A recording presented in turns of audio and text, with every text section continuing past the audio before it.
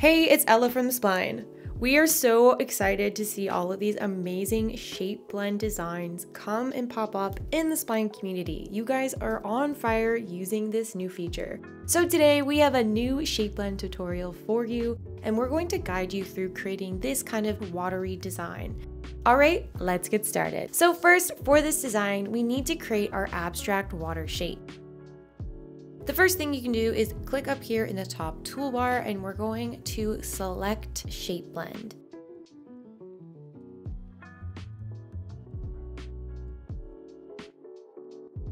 Now let's add some spheres. Now I'm going to start just placing these around building out my composition. Uh, maybe one here and some over here mm, and another one here. And as we go, we can adjust the size and scale them down. You can use Shift plus Option plus drag to scale down your object, or if you're using a Windows computer, you gotta use Shift, Alt, and drag. But if you prefer to be more precise with your values, you can always click on your sphere and go over here to the right hand panel and adjust the size. Now I'm going to just play around here with the composition a bit more, changing the scale of some of these spheres.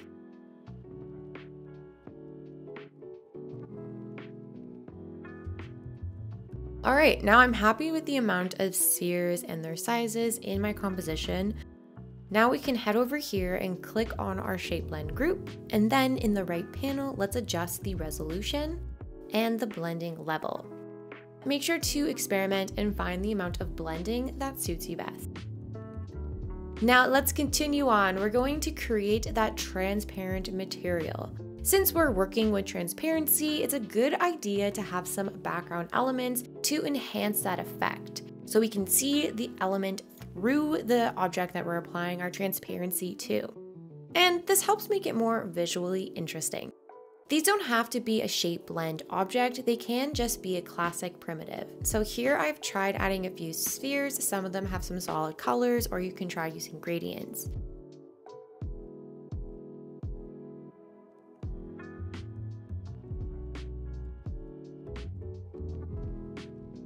For this water texture, a matcap layer is going to give us that nice and glossy shine. So it is a very important material you do not want to skip. Select one from the Spline library, but if you have one that you would like to upload, you can do that as well. Set the opacity to 60. Now let's adjust the blend mode here to screen. In lighting, set it to Phong and let's adjust the shininess. And change the blend mode to screen.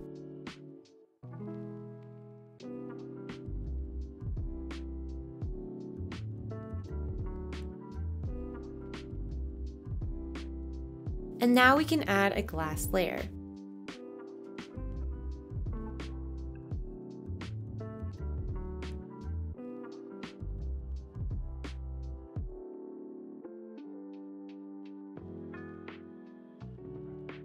For the glass layer settings, we're going to set the opacity to 90, blur to 2, thickness to 280. Okay, cool, that's it for the glass layer. And now it's time to add a Fresnel layer. Let's open up the Fresnel layer and what I did next is I changed the color to black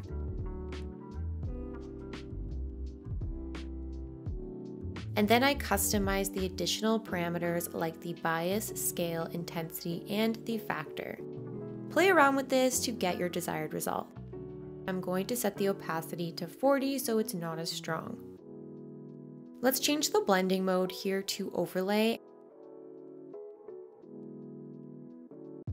And there you go, you have that beautiful glossy and transparent material.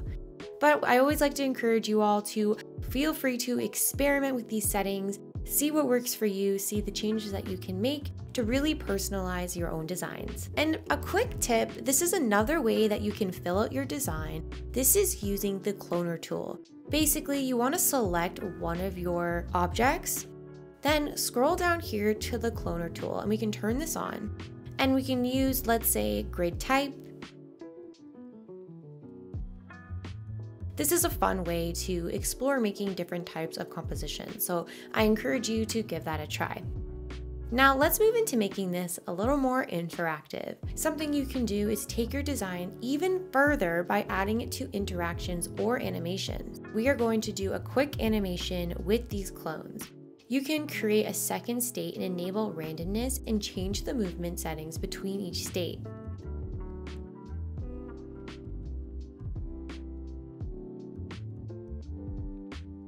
Next, I'll add a start event, adjust the states, And for the timing here, let's set this to 10 seconds. Finally, I'll loop it to infinite and the cycle to ping pong.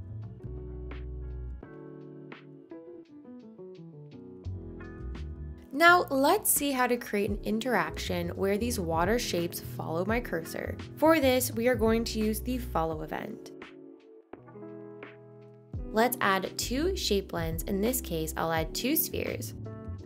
Now let's add the follow event to one of the spheres.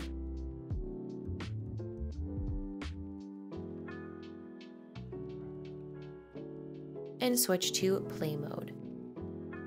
As you can see, just like that, the sphere is now following our cursor. When it comes in contact with the other shape blend shapes, both the shapes and materials blend together, creating this amazing and very interesting interaction. We can adjust the damping here as well, so if you add more damping, this will make the effect a bit slower and more smoother. A lower value will make it faster and more abrupt. So let's set this to 20 instead of 1. And see, there you have it.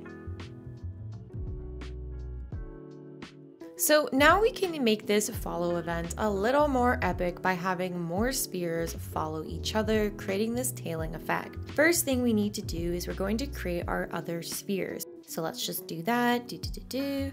Next, I'm going to adjust the size of each sphere, making each one slightly smaller than the previous one.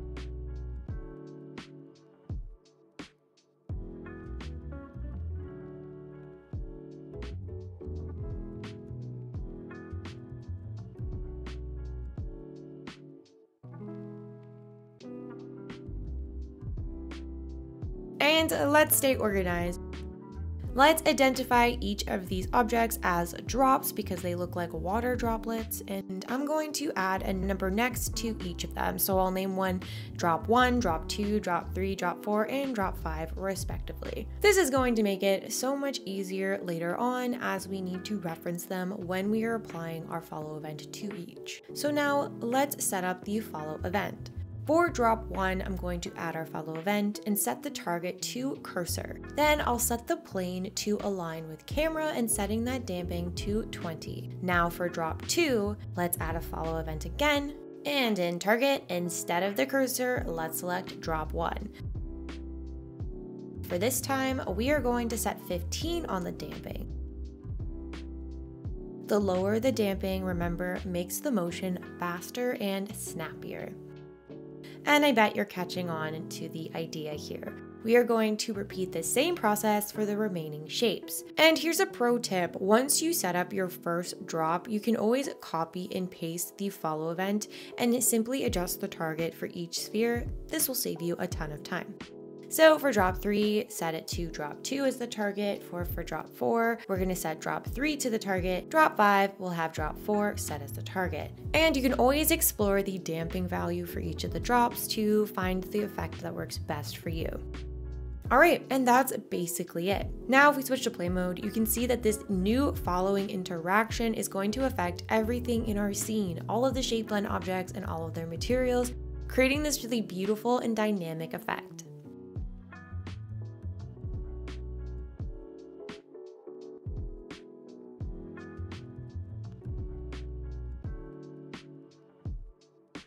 And let's go on a little side quest here. I want to quickly talk to you about animated turntables. If you turn this on, this is a fun way to show off your shape blended objects or really any 3D design that you make that you want to spin 360 degrees around. All you need to do is here in the export under play settings, you can enable animated turntable. Then here you can adjust the direction and speed of the spin.